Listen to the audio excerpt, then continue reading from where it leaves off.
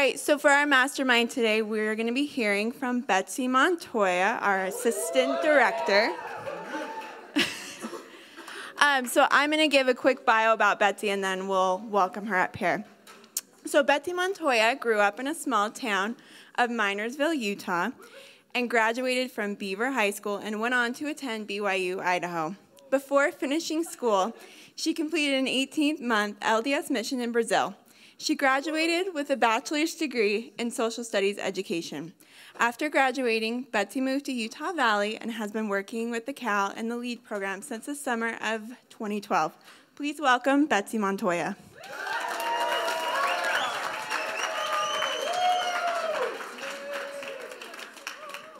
Thank you for allowing thank you for showing up first of all because uh, i know it was emailed out that i would that i would that i would be here.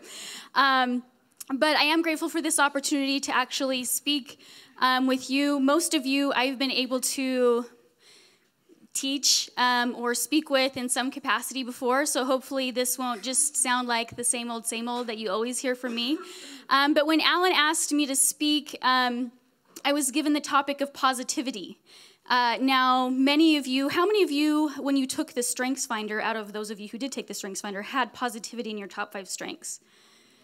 So maybe you should be up here giving this, giving this lecture, um, because I didn't have positivity in my top five. I do feel like I'm a pretty optimistic, positive person, so it's probably somewhere in the top ten. But uh, I am grateful to be able to focus a little bit more on my own positivity and how I express that. Um, to begin with, I want to tell a little story. Now, this is a picture of a picture, so it's a little fuzzy, uh, but this is the Beaver High School fall, let's see, not 2000, I'm not that young, uh, 1997 volley, freshman volleyball team. And uh, that's me uh, sitting there at the bottom, not at the very bottom, kneeling down, number 23. um, but I have always, my mom has always said that I have a little twinkle in my eye, like I'm up to something or a little mischievous. And I do like to be a tease. And growing up, my siblings kind of had to deal with that. They gave it in return. Um, now I have a husband to bother, and I like to tease him.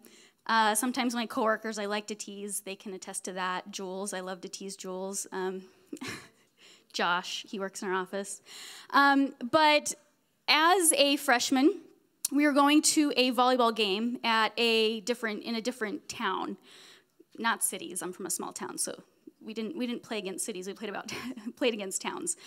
But we were going um, on the bus with the team. With the it was the varsity JV and freshmen. We all went together because that's just how it was. That's we all fit on the same bus. Um, and one of my fellow teammates was on the bus in front of me, leave, leaning over the seat. So her back was facing me. So duty required me to just do a little tug on her shorts um, because she was leaning over and exposing herself to that situation. Um, so I just gave a little tug on her shorts, and they came, you know, they came down a little bit, and she turned around and said, "Betsy, what are you doing?" And put them back up, and that was that. Um, and it was on a bus full of girls. It wasn't that big of a deal, right? Well, we got to the game. We played our game. We played earlier because we were the freshmen, but then we were expected to stay obviously, because the bus was our ride, so we had to stay anyway, um, and support the uh, the varsity team as they played. And so we would, we would keep our uniforms on and we would cheer with the cheerleaders. So I'm down in front by the, the cheerleaders are right here, you know, looking up into the crowd. And I'm sitting right in front of the cheerleaders and I'm cheering with them, being the best little cheerleader I can, and, you know, saying bump set spike or whatever we were doing. I don't, I don't know. And unbeknownst to me, uh, someone was sitting right behind me uh, exacting her revenge. And um, so, just in the moment when I've got, my hands in the air, cheering to my little heart's content, uh, I feel the same thing happened to me, and my, my shorts were tugged down. Um, now, I didn't ever know that I had quick reflexes, but in that moment, my shorts came up faster than they have ever come up in my life. Uh, no dawdling. Uh, to this day, I don't know if, you know, I was exposed or anybody saw anything, but um, that experience happened as a freshman in front of a large crowd watch. Probably wasn't that large, it was volleyball. But um, just kidding. I'm just kidding. um, but uh, I'll, I'll come back to that experience in just a second. So, um, moving on, for those of you who do have um, positivity, um, there are certain descriptors, and maybe you haven't taken the Strengths Finder, that's fine. But as you look at this, as we quickly go, through this, these descriptors of positivity, I want you to see if you recognize any of these things in yourself, or as you look around this room, or maybe other people you know, friends, family members, if you recognize these things in them. So we're to go through some of these, and I want to point out a couple people that to me uh, embody some of these, these attributes or these descriptors. Um, so the first one is generous with praise. And when I think of this, I think of Jules. She's I work with her and she's always complimenting people and making them feel good. She's very generous with, with her praise. Um, the next one is quick to smile. And when I think of this one, I think of Kelsey. There she is, Kelsey Backus. You actually had positivity in yours, right? Yeah, and I know that Kelsey is a is a very positive person. When I think of quick to smile, I think of Kelsey. And if she if you've had her as a team leader or you've associated with her, then you know that about her. Um, on the lookout for the positive in the situation. Uh, that's that's something that's essential in life to be able to, to be able to see that lighthearted people want to be around you when i saw this one i really thought of madison mansfield she just had a birthday recently. And she's sitting right over there. And Maddie is the type of person that I know so many people love being friends with her. And I think she also has positivity as one of her strengths. Is that correct? Um, uh, contagious enthusiasm. Finding a way to lighten others' spirit, bringing them up when they might be feeling down. Um, injecting drama into every project. Is George here? George is hanging out in the back. George Banner. When I saw this, I thought of him. And George doesn't actually have positivity in his five, top five, but that's okay. It's, it's, it, like I said, think of people you know, whether it's yourself or someone else. And I thought of George because he makes things exciting and he, he adds that drama and that excitement to the to whatever you're doing, to the project, to the experience, whatever it is.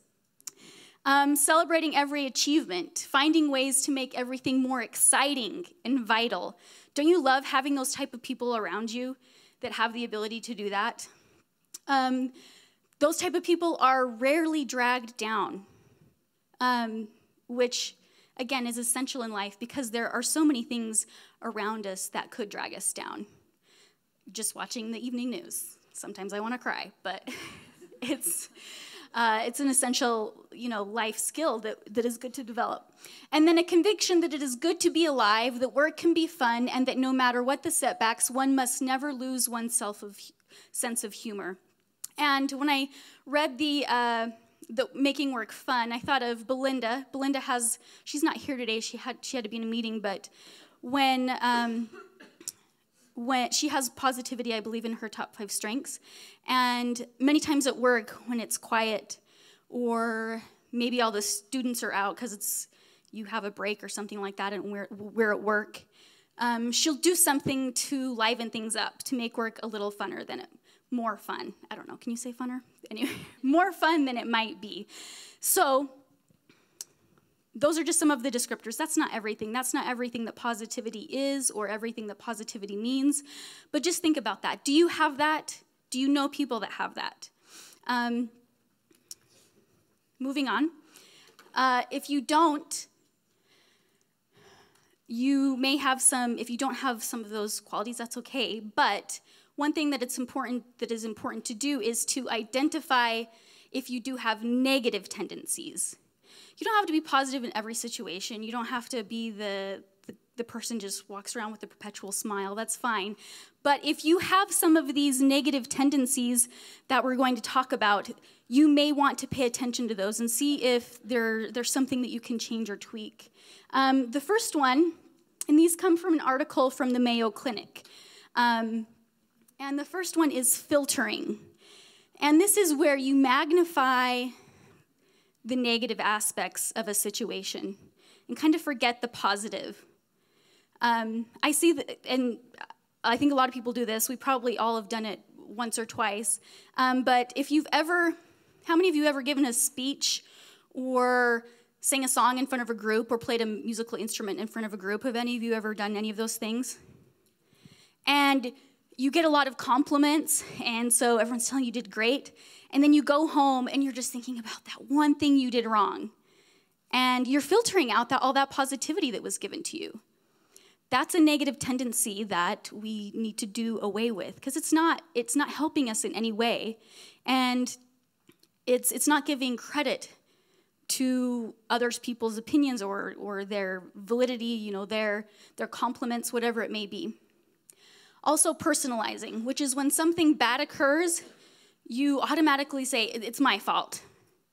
Uh, maybe you had set up a date and they had to can- the person had to cancel or uh, you know set for a later date and your automatic thought is they must not like me I, they must you know just really not be interested in me um, that's what personalizing is catastrophizing catastrophizing. You automatically anticipate the worst. Um, and so, an example of this is uh, if you go through, let's say you go through um, a drive through and you order something and your order's wrong. They give you the wrong thing. And so, your immediate thought is to assume the, re- the rest of the day is going to go bad. Or you're driving to school or work in the morning and somebody cuts you off, or you get stuck behind a, a train or whatever it is, and it ruins the rest of your day. You're turning a little moment into a big catastrophe. So, see if, as we go along, see if you have any of those things in your own life. It's easy to point out, oh my gosh, I know a person that's just like that, because that's easy to do. But mostly, I just want to see do you have these in yourself? Because I can sometimes see myself with these. The last one is polarizing. You see things only as either good or bad, there is no middle ground. An example of this is let's say at the beginning of the semester, you take a test and you just do horrible on it. And your thought is, well, there goes my grade. I, you know, that's that's it. I'm gonna get a bad grade in this class. That's that's polarizing. It's like, no, you did bad on one test. How many do you have left? How many assignments do you have left? How much greater can you still still do? Um, so if you see any of those in your life, just identify them. Be aware if you have them, because when you're aware, then you can do you can do something about it.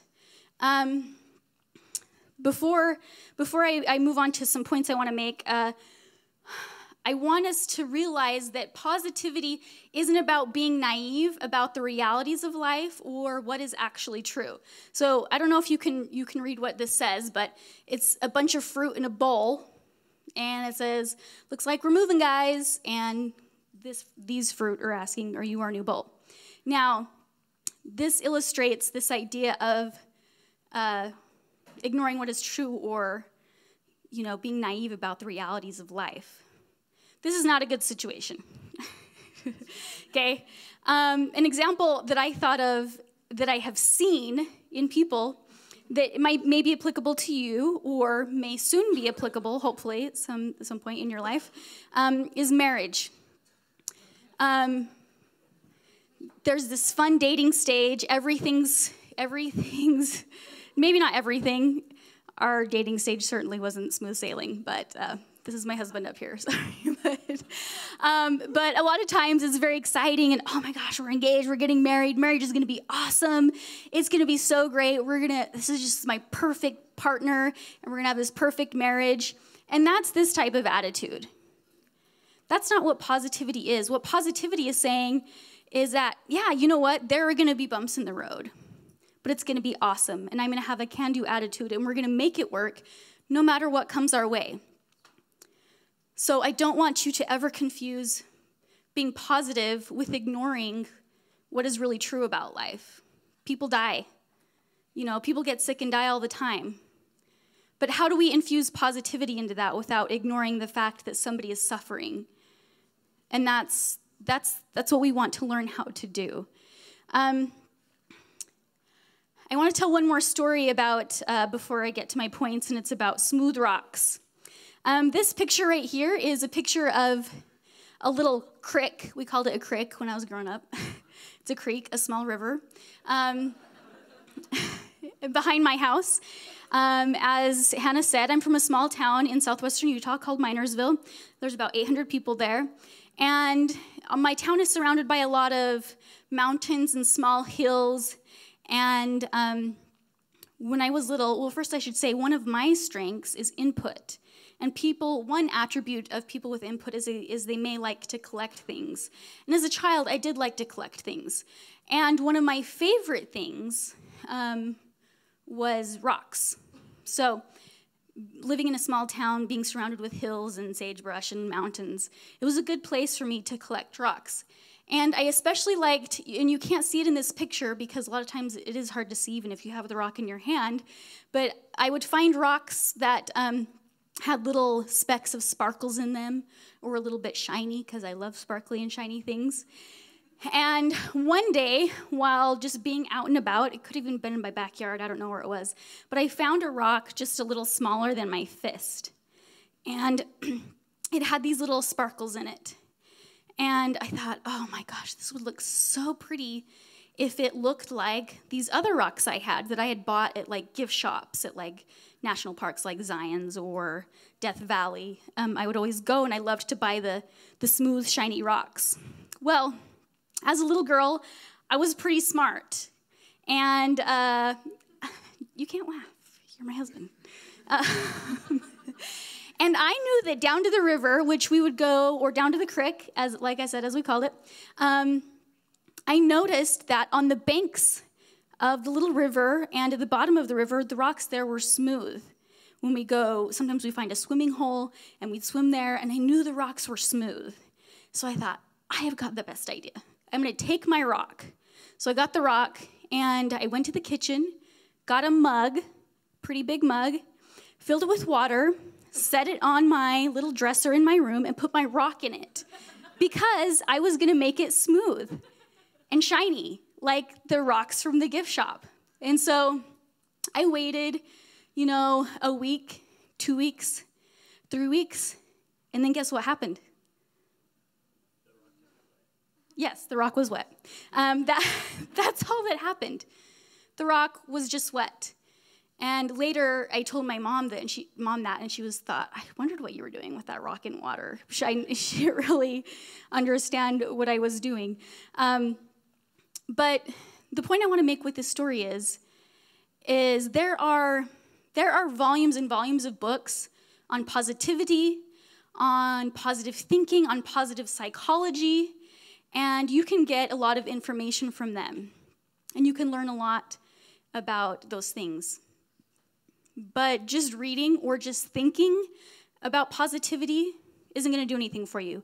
It's just going to be stagnant water just like my rock was just sitting in there, that stagnant water. It wasn't going to become smooth ever. It didn't matter if I waited a thousand years. Maybe, I don't know, maybe it would dissolve, I don't know, but probably not. The water would probably have evaporated before anything even remotely started happening to that rock just sitting on my dresser.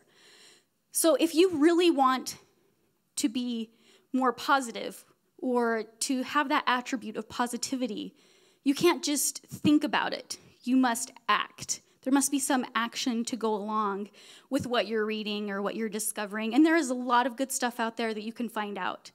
Um, and as I thought about what can I add to this conversation, what can I say, I thought, well, I could just kind of regurgitate, you know, information from from all of these experts that have written these long books on what it means to be positive or what positive thinking is or how, how, how do we uh, how do we change our mindset? But really i thought back on my own life and the experiences i've had. And so i want to offer just a few ideas to you. Before i just need to preface them with letting you know these are not groundbreaking. You're probably going to see them and groan a little like oh my gosh betsy this is this is something i've known forever but maybe this will be a little reminder um, as we approach midterms and life is getting a little bit harder, um, of some simple things that you might be able to do, that I might be able to do to infuse a little more positivity into my life.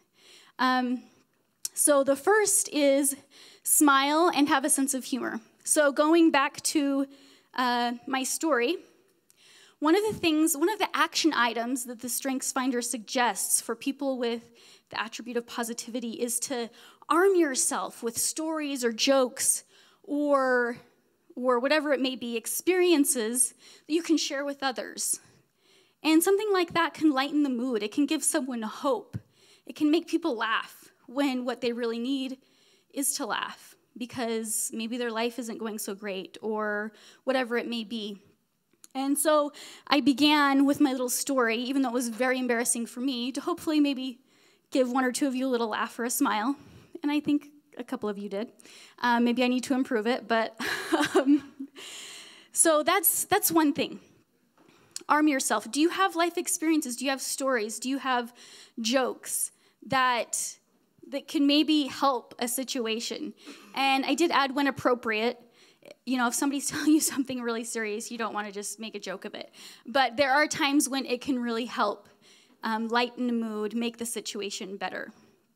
Um, also, take a step back and smile when your tendency might be to become frustrated, to be frustrated. Um, here's a picture of some toothpicks, and I want you to imagine that uh, you, you have a container of these toothpicks, and they drop on the floor and scatter all over. Now, knowing yourself, think to yourself, what would be your immediate reaction? Would you become mad? Would you let out an expletive? Would you, what would you do? So think about that. this actually happened to me one time. I was just in my apartment. This was several years ago. I was just in my apartment and I was reaching for a cookbook, and I the container did have a lid, but it dropped to the floor and it scattered the toothpicks. And there was, I mean, it was full. We probably used two out of the whole thing. The toothpicks scattered everywhere, and I could have gotten mad. I could have gotten frustrated. I could have let it ruin my whole afternoon. But instead, and I wasn't thinking of doing this, it wasn't like, okay, stop you know, take a step back or whatever. But I just laughed because I thought it was so funny that of all the things that could have dropped, it was this container full of toothpicks that just scattered everywhere. So when you have those type of things, when you're, when you, I think I, I like to use driving as an example because just knowing myself and many other people that I have driven with, it seems to be a, a source of frustration. And um, is it worth it? Is it worth it to get mad over things like like that? Don't nod your head. It's not worth it. Um, take a step back and smile and say, "Hey, you know what? I'm alive. Life is good."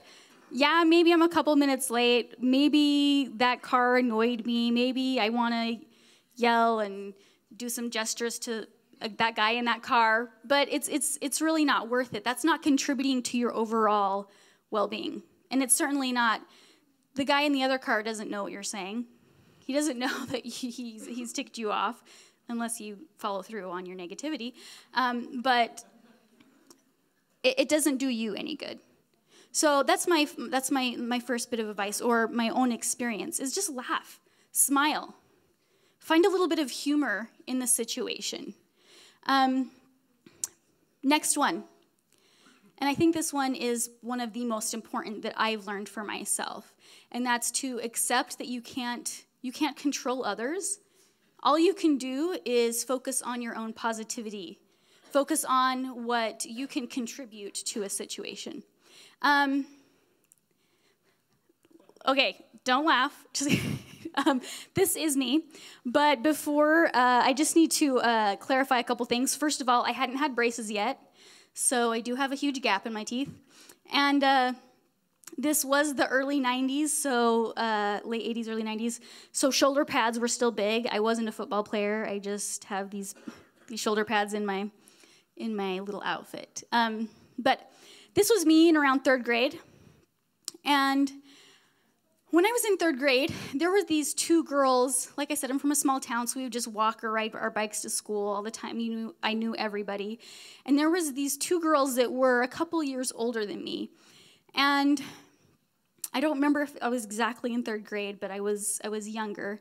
And for some reason, they decided to pretty much start harassing me when I was walking home from school. And they would say things that, for a little girl, were, were quite hurtful. They would call me names that I never heard in my own household. They were not, not words that I was accustomed to hearing.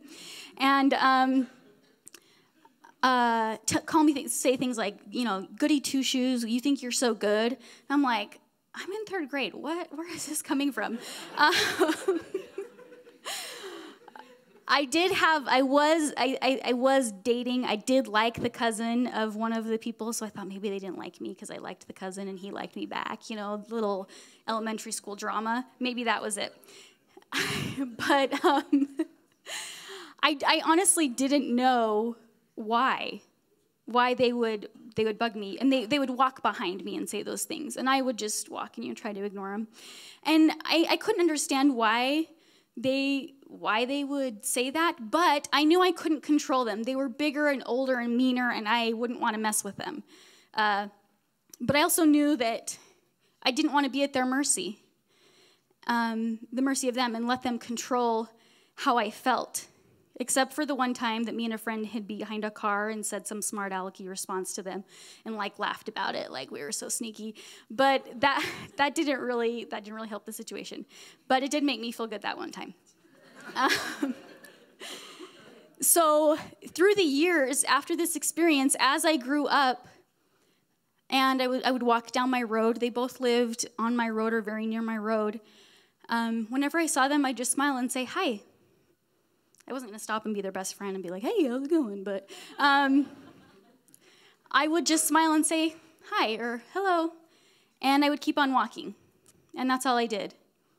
And it didn't make us best friends. I didn't, I, in fact, I don't know what's happened of their lives. They, they probably haven't been the greatest from what I, little I do know. But for me, I wasn't holding on to that negativity. I forgave them and that forgiveness released me from that negativity. I wasn't at their mercy because I controlled myself. They gave me negativity, and I gave them back my own positivity. And I've had many experiences in my life. As I went through teenage years, I remember a friend telling me that another person had said something very hurtful about me. And I thought, well, first of all, you're my friend. Why would you tell me that they said that? Just keep it to yourself. Um, but I think all of us have had those, those, those feelings, um, those moments when somebody in our life said something negative about us, tore us down, tried to make us feel that we were not capable of doing something. And it's up to us if we accept that negativity or we try and control them and change the way they are, or if we just simply say, I don't need to accept that. And I'm going to put out my own positivity into the world. I'm going to react to this in a different way than what was given to me. And that's a, a, very strong, strong lesson that I have learned. So accepting that you can't control others, instead, put out your own positivity. Um, using positive language. Uh, this is this is a big one in the the book that uh, first semester students use in the in the program in the leadership course. Uh, this is one of the sections when it's talking about using positive language when you're around others. This is essential as a leader because you're the one in charge. And if you're sending out negative messages all the time, we're not doing good enough. We need to do better. Uh, I've talked with people, and that's how their, their boss or their supervisor makes them feel. That's, that's not helpful. Nobody wants to work in that environment. Um, so, here are a couple of specific types of language that I think myself and probably some of you could work on as well. Um, avoid, sorry, this is kind of small if you can't see it. Avoid excessive or hurtful sarcasm. Now, some people excel at sarcasm, and it can be really funny. And a, a, perfectly timed sarcastic remark can sometimes be the thing to lighten the mood. But when it's excessive or hurtful, it doesn't, it's not bringing anybody up. It usually tears down. It's usually hurting somebody's feelings. sarcasm has its place, but if you find yourself constantly, you know, giving those sarcastic looks or, or responses, it's, it's possible that somebody is being hurt. So change it up a little bit. Don't be sarcastic all the time. Um, try and say something maybe positive. And I know that for myself, that's something that I could work on. Um, also, don't complain all the time. I put in all the time because all of us need someone or, you know, a friend, a parent, a spouse, a boyfriend, a girlfriend, somebody who we can just kind of unload on sometimes to share our burdens, to maybe complain a little bit, and I think that's okay. Um, but again, we may all have someone in mind that that's, the, that's that person that's always complaining and always um, saying that something's wrong or some this person did this or this happened to me and it just drags you down. One, you don't want to be around people like that. Two, don't be that person because nobody then will want to be around you. Um, it doesn't create a good envi- environment. So, if your language, if you have a, a complaint, um, follow it up with something positive. Like, this isn't working, but let, us try this.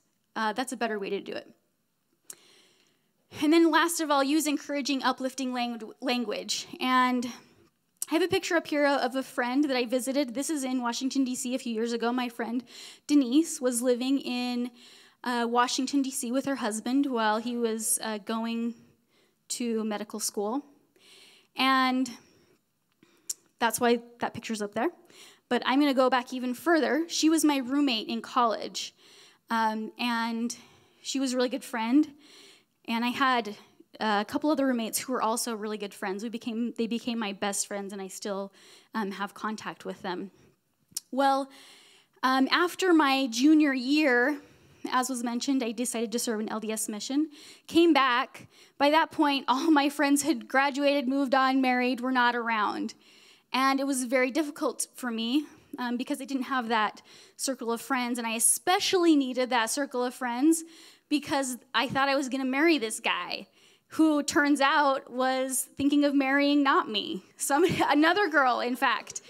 So I spent uh, days, and days turned into months of uh, crying on and off, and pretty much feeling horrible about life because I didn't have my best friends with me. I didn't have people even on campus that I knew really well because everyone had, it seemed like everyone had just moved on except for uh, here and there. Um, my family was very supportive, but they were six and a half, eight hours away. So, you know, they could. My mom like sent me flowers and chocolate. You know, she was she was very kind, but I didn't have, you know, anybody really there living with me to hold my hand and tell me it would be okay. But Denise, she had gotten married and she still lived in Rexburg, which is where I was going to school at the time. And she had her own life. She was expecting a child, and um, she was teaching a Spanish class uh, as an adjunct instructor at the university. And one day she, she came and she gave me, she had done a bunch of research and looked up a bunch of things, and she gave me this really, really nice letter that it contained some inspiring quotes and messages and speeches that I, I could look at to remind me that life was going to be okay when I was pretty much experiencing the hardest time of my life. It was over a boy, but I mean, still, it, it was it, it meant it meant something at the time. And so that encouraging, uplifting language that she shared with me made the difference. It helped me to realize life's life's gonna get better. And it did. And I remained friends with that guy, we'll call him. Uh, I won't mention his name. Um, but uh, I remember even like helping him with his college algebra or something, even while he was engaged to another girl. You know, I, I got over it. Again, going back to the previous, the previous thought of not allowing the negativity con- to control me, but putting positivity out there. My friend Denise did that for me, and then I was able to do that towards this guy. Um, so, this is a very important one. As you go day to day, watch your language. What type of language are you using? Is it hurtful? Is it tearing down? Is it putting negativity out there? Or is it uplifting? Does it make someone feel better? Does it make them want to have a better day or a bad day or wish they had never, you know, left their bedroom? Because you you have that influence. Many of you interact with each other a whole lot. And if you're tearing someone down that you're around a lot, it's creating a really bad situation for that person. So be aware of the type of language that you're using and use positive language. Um, the next one is live a healthy life. Uh, I think most of us, some more than others, are familiar with this word hangry. And it says a state of anger caused by lack of food, hunger causing a negative change in emotional state. How many of you experience this? This is a real thing. You should be raising your hand. Just kidding. um, but I bring this up because, again, this is not going to be groundbreaking. This is what I've experienced in my own life. If you're not taking care of yourself and living a healthy life, you don't feel good about yourself, and you're certainly not going to be have have the energy to be positive and help others. So, first of all, eat. Eat. Sleep. These are basic things in life. Eat, sleep, exercise, meditate. These are the basics, they are simple, but if you're not following through on them, again, you do not have the capacity to put positivity out there because you can't even you can't even take care of yourself. You're you're living on that edge of oh, I just I just need some sleep or oh I'm just so hungry that I'm hangry. Um, exercise I like this one. Um, studies have shown even with a, a group of, of uh, I think it was 12 people. They did a study with 12 people and had them go just on a 25 minute walk in a green space. So like in a park or on a hike, and it had the ability to heighten the mood and energize and give that positivity into their life more than, uh, than, than many other things. For example, walking on a busy street or uh, whatever it is. So, green space, taking advantage of nature um, when you exercise, even if it's just going for a walk, can really have that positive influence on you. Um, in, in talking about these things, um, I do want to recognize that there will be times in your life or in maybe someone else's life that you know that they experience real depression. Um, you know, clinical depression, they've been diagnosed with it. And simply doing some of these things we talked about, like eating and sleeping, or just, you know, think positively or use positive language, doesn't always help. So be aware that there are people who, and maybe it's yourself, and I don't want to make light of that and just say, oh, if you do these things, you're not going to be depressed anymore. You know, you're not going to feel negative about life because that doesn't always happen. You may need additional resources. And if that's the case, I encourage you to seek out those additional resources. I just wanted to, to put that in there. But if you're just having a difficult time in school or it's just kind of you're having a down period, examine some of these things. Are you getting the proper nutrition? Are you sleeping or are you staying up till two and then getting up at seven or six or whatever? You know, are, are these things happening? Do you take time to exercise? It can really lighten your mood and inject positivity into your life, as well as meditation. A lot of times you can exercise and meditate at the same time.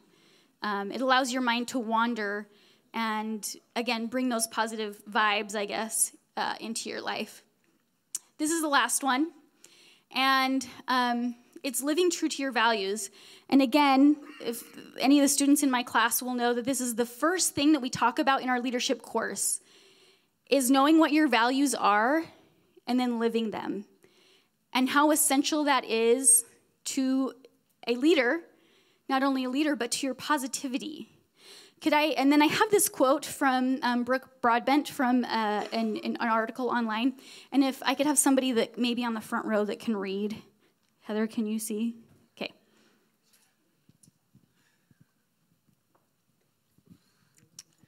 You've seen them, people who smile from ear to ear and seem to exude inner peace. Do you know how they got that oh so good feeling? Chances are that they figured out what was really important to them and began living true to those values. How would you how would your life change if you began to live more in line with the values you believe in? How would you improve your health, your relationships, and your quality of life? What would you begin to say no to? Doubt, fear, addiction? What would you begin to say yes to? Self confidence, love, empowerment? Okay, so that's what I mean by living true to your values. What, what is it that you live for? What is it that you stand for? Do you stand for fear? Do you stand for doubt? No, but if those things are overtaking your life, then then you're not living true to who you are. I like how it says, what would you begin to say no to? There's probably a lot of things that we might say no to if we were to live true to ourselves. How many of us, I mean, how many people is it important for, for them to be super, super busy and running from one thing to another? Some people that is. That's how they find um, meaning they feel like they're, they're giving back to the world when they're super busy. But most of us, that just runs us ragged. Then why do we do it? That's not staying true to ourselves. That's not staying true to our values. And along with saying no, saying yes, allowing things into our life that may cause us to change our life or maybe make us a little uncomfortable at first because they require extra effort. Um, like love. Love can, love can take a lot out of us sometimes. But if we're living true to those things, it allows us to be positive. When we're not, we, we, you just feel down. You feel like you've just been wrung out, like, like a wet rag, and you really have nothing left to give. And like the this this previous one, living a healthy life, when you're not taking care of those basic things, it's very hard for you then to send that positivity out to others. Um, so those those five things are just a, a few simple you know things every day that that we can that i can work on and that maybe you can work on to help yourself develop that strength of positivity if you don't have it or if you do have it to increase it to actually use it. Um, and there i asked a, a couple of students who have positivity as their strength to share examples um, specific examples from their own life of how they have used their positivity um, in in their life and so, first, I've asked Devin Parasso, and he's going to come and share with us his example.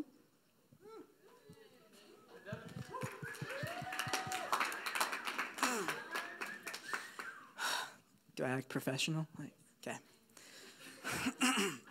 okay. No. Okay. well, guys, um, she, I don't know why she asked me. Uh, I don't think she could find anybody else, to be honest.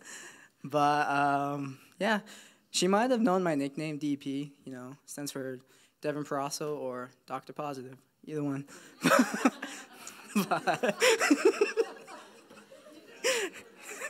either way, either way works. um, use as you will. But um, just a few examples how positivity has kind of influenced my life. Um, I, I don't know if this is something somebody's born with or you develop it. I certainly think this is something, a skill I developed over the years. Um, when I first saw it manifest itself in my life is kind of a tragic story, but a good one, um, if you can believe that. But my parents were divorced, and then it was like, oh no, what's happening with my life? And I was like, wait, I choose to be happy. And from that point forth, it was just kind of like, oh, it's, it's like a snowball effect that I've seen in my life. Um, another thing, which a lot of us can relate to, is in dating. Um, you know, you ask a girl out and she tells you no. You're like, oh, you know, you're sad. Not that that happens often, but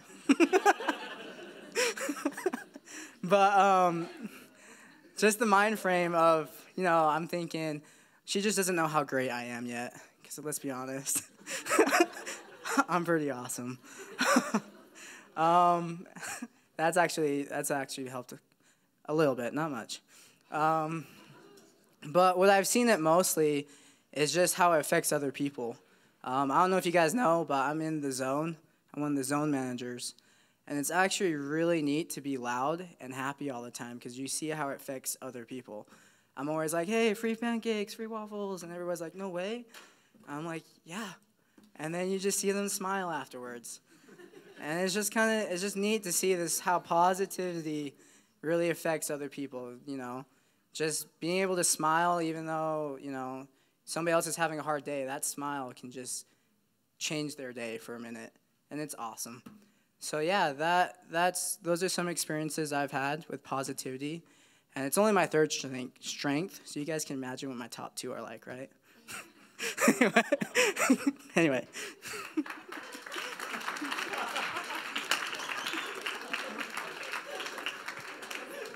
Um, is Liz here? Liz Wolf. Oh, Liz, if you want to come up.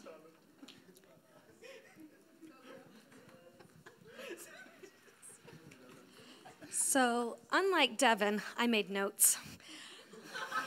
so, so I uh, no, that was that, I am nervous to be in front of you guys, very, very nervous. So I had to make notes so I wouldn't keep my train of thought.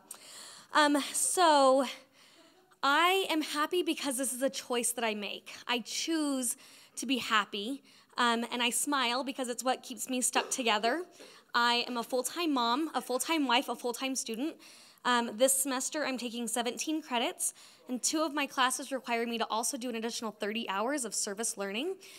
I have four kids, um, very active kids. We're involved in after school clubs, we're involved in sports, we're involved in dance. My husband works full time and is taking seven credits this semester. We're kind of busy a little bit in our lives. She mentioned people who are over busy. Over busy, um, but it's what I but it's what I choose. I choose to be over busy, and it, and it works for me. If I focus on all the things that aren't being done, then nothing is going to be done. So I focus on choosing that battle. If any of you are parents, maybe I'm the only one old enough, but when you're a parent, you know that phrase, choose your battles, but that applies to more than just raising kids. So I've chosen to choose the battles that really matter to me rather than waiting for them to get to me. I choose first. Um, so I wish that I had gotten college done before I had kids. I wish that my husband made more money. I wish that I had always been a stay at home mom, could always be a stay at home mom. But that's not what I choose. This is a life that I choose. I chose to have a husband who's diabetic. I chose to have four kids when I was really young. I chose to be in my 30s and go back to college.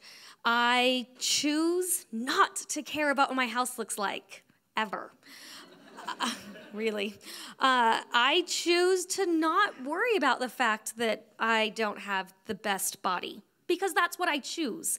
I choose to remind my kids to do hard things, and I choose to do hard things myself. But there's things that are also out of my control. So, do I get angry that I have some kids with special needs? Do I get sad that the sole breadwinner doesn't really win the bread? Am I, am I jaded that my parents got divorced when I was a teenager? Or do I choose to be positive? I think back to what Betsy said towards the beginning of her um, talk, she had like a list of bullet points up there, and one of them was to be on the lookout for the positive in the situation. And I always am. I choose to find the good things. So, this is what the life that I chose. This is how I chose to be. So, why would I choose to do it with a frown? And I'm not going to sing for you, but start singing in your own head. If you chance to meet a frown, there you go. Thank you so much, Liz. That was awesome. We probably could have just listened to that and gone home. Well, first had the little the little food back there to take care of ourselves, but and that as well.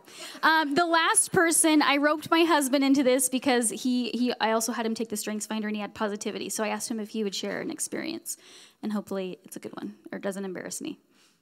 Oh, it'll be embarrassing. All righty, so yeah, I'm Jonathan. I'm Betsy's husband, and uh, it's funny she mentioned her. Uh, well, by the way, so the guy that like broke her heart and she's crying over, that was definitely not me. so uh, that's a good thing. It's funny she mentioned him though, because my story's kind of about an ex-girlfriend. So uh, this will be this will be good. All right, payback. When I was uh, a certain age, a few years ago, um, I met this girl, and she was really really cool. And I was like, this is a cool girl. So I used to go over to her house, and I had to ask my parents if I could go over to her house. So I was like, hey, can I go over to your house? And she said, they said yes. And uh, anyways, after going to her house a few times, I remember walking in the door, and she she was like, hey, come to the back. So we went to the backyard, and there was this big box. It was a cardboard box. And I was like, okay, this is a little weird. And she turned to me and whispered, do you want to make babies with me? Now, as a five year old, that's okay. And I, I was pretty, uh, pretty okay with it. I said, yeah, I want to be a dad. That's cool. And uh, fortunately, uh, we thought that a special hug was actually hugging, so we just ended up hugging for a while and uh, went back to throwing rocks at fences and stuff. But uh, anyways, so I always, I always wanted to be a dad. That was like my biggest dream. And uh, as you can see, I'm really happy that that's happening. Um, but our story wasn't always great. His name's not Jenser, actually. Thank you. Thank goodness. Um, anyway, so so back probably three, two years ago when we got married, we were super happy, and we had both like talked about having kids before. We were super stoked to have kids, so we always dreamed of. And uh, anyways, I had testicular cancer as a kid, and figured, oh, you know, whatever. The doctors have always said like, you're cool, you're gonna have kids, no worry, don't worry about it. Um, anyway, so after a year of trying, I remember sitting in this doctor's office and waiting for my test results, and they gave me the sheet back and just said, uh, "So the doctor's not really around, so uh, if you need to talk to someone, just call a specialist." I thought that was a little weird, so I left out, left out of the hospital room and went to in my car, and I I understood it because it had a big zero for my sperm count, and that was really a hard thing for me. And we had more tests happen, and just the same thing happened, and I found out I was infertile. I, I couldn't have kids. And as someone who had always dreamed of having a kid, uh, in that moment it was kind of hard for me to be positive and just say, "Oh, yeah, like I'm not down like down on myself. I'm super happy."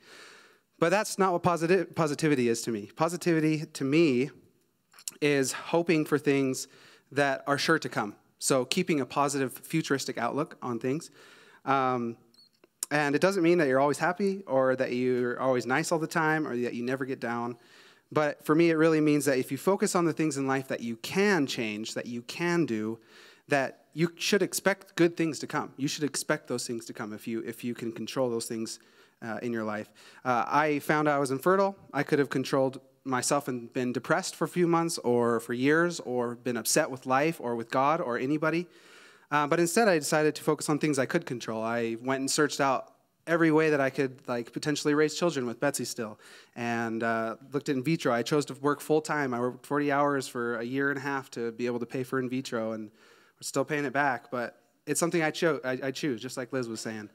And uh, anyways, so I, as as I hope you notice, things are working out great for us, and it doesn't always work out like that in life, but I am so happy that it did, and I and I really can say that it was because of a positive attitude through those, through those hard times that brought me to such a happiness now. And, uh, anyways, I'm positive, pun intended, that each of you will find a great deal of success by staying positive about your future and by taking charge of the things you can control. Thank you.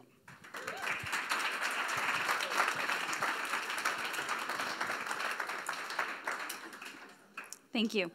Devin and Liz and Jonathan for sharing your experiences. Um, to to end, I just want to pretty much echo. They they pretty much said what I was going to say at the end. Is that each of each of the things that you do in your life are your choice. It is your choice the type of language you use around people. It is your choice what you allow to come into your life and what you put back out. All of those things depend on you. And what this world does need, I know, is a, is a lot of positivity. Those people who can make you smile. Those people like Maddie who you want to be around. Those people like Jules who, you know, always compliment, complimenting and giving praise. And life isn't perfect. Like I said, there, there are down times, times like that I had when I was crying, but they don't have to stay forever and you can be the influence on yourself to overcome those things and you can also be the influence on others to help them overcome those difficult times. So focus on your positivity as you enter into midterms and finals and whatever else that life may bring you in this upcoming year. Thanks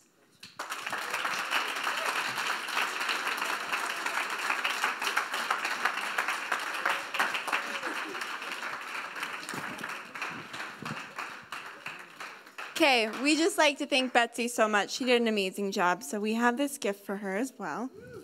You're welcome. Okay, um, we do have a couple of announcements just before we let you all go. Um, so, a couple of things. Next week, or yeah, next week. Next Tuesday, the 13th, um, is breakfast for lunch in the Cal office. Um, it's from 11 to 1, so come in anytime. We're going to have a lot of good food. It's going to be great. And that's welcome to all students that want to come in there. Um, another quick thing, um, we the survey's open um, for us to be ranked um, in the Leadership 500 Awards like we were last year. Um, so obviously we want to be there again. So to take that survey, um, please make sure to do that as soon as you can, and it closes on August 15th. So please be sure to do that before then. And then the last one I have, um, before I pass it on to some others, um, if you are going to be leaving the housing program for the spring, please make sure that you just fill out the housing exit form by November 1st so that other students can have that option. I'm going to have Jules and then Spencer do a couple of announcements too. So she meant October 15th. But you have to, you said August. It's all good. Say, it's a survey that you take. Breakfast for lunch is in the Cal office in the conference room. Anyway, say really good things about us. Okay, um, how many of you know what a FAFSA is? How many of you have actually done a FAFSA this year? Cool. Um, how many of you know what work study is? There is a work study position in the Cal office, and we would very, very much like, if you haven't done your FAFSA and you would love to work in the Cal office, do your FAFSA like today and uh, go into the financial aid office and have them approve your work study. Anyway, we would love to work with you. It's um, it's going to be the new Josh. So we would love to have you. Um, if you have any questions, you can talk to me after. Thanks so much. It's part time. What's up, guys? Um, so really quick here, um, we are um, being part of the haunted house um, for student alumni here. Um, and so that is um, the 28th, 29th, and 30th. On the night of the 30th, um, the, the Wolverine ambassadors and also um, Cal, we are sponsoring a night on that 30th. And so we're looking for about 15 to 20 volunteers who are wanting to help with um, registration, running a booth. If you do a volunteer, you get free admission um, to uh, the haunted house to the previous night, um, and you will get dinner the night as well. So if you are interested, go ahead and um, let me know afterwards. Um, and uh, that's it. Thanks for coming. There's food back here, and uh, have a good night.